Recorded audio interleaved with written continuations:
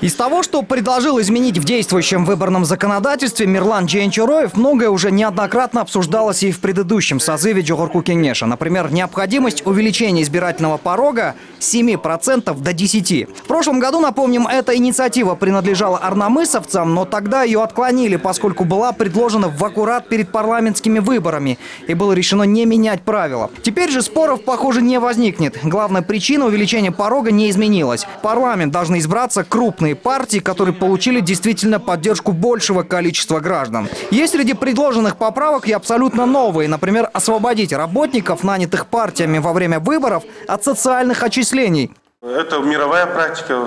Такая практика есть в в странах Европы, когда в момент выборной кампании, когда люди по найму освобождаются от налогов и социальных отчислений.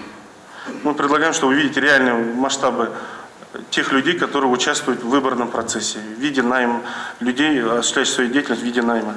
Предлагает инициатор также ввести наказание в виде увольнения членов Центра избиркома, которые во время выборов игнорировали жалобы и обращения о нарушениях. Другой нормой Джейнчуроев призвал уполномочить ЦИК не регистрировать кандидатов, являющихся членами ОПГ. Разумеется, если будет такое решение суда. Сейчас, напомним, такого права у Центра избиркома нет. Есть лишь то, которое может позволить не регистрировать засудимость. Предложил Джейнчуроев ужесточить наказание также за подкуп избирателей и применение административного ресурса то есть предусмотреть денежный штраф от 20 тысяч сомов до 3 миллионов или даже лишить свободы на 3 года. Еще одна поправка уже касается сроков и качества избирательных списков. С ними на каждых выборах постоянно возникают проблемы, поэтому, как считает автор инициативы, необходимо установить срок формирования и утверждения списков не позднее 30 дней до дня голосования.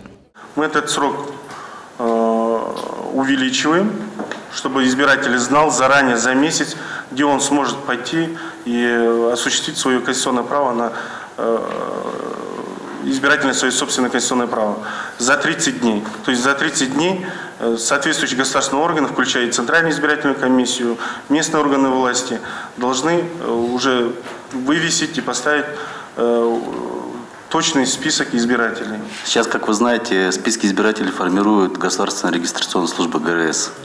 Также есть списки Центральной избирательной комиссии. У меня есть такое предложение, чтобы вы внесли какие-то изменения в том плане, чтобы создать единую базу избирателей, потому что единую избирательную базу для всех избирателей, чтобы она именно была в Центральной избирательной комиссии. Изменения необходимы, по мнению Джейн Чуроева, впрочем, не только по спискам избирателей, но и партийным спискам. Автор предлагает законодательно закрепить право руководства партий единожды вносить изменения, а также право отзыва уже избранных депутатов. В этом вопросе, как отметил лидер фракции, действительно уже наступила пора поставить точку.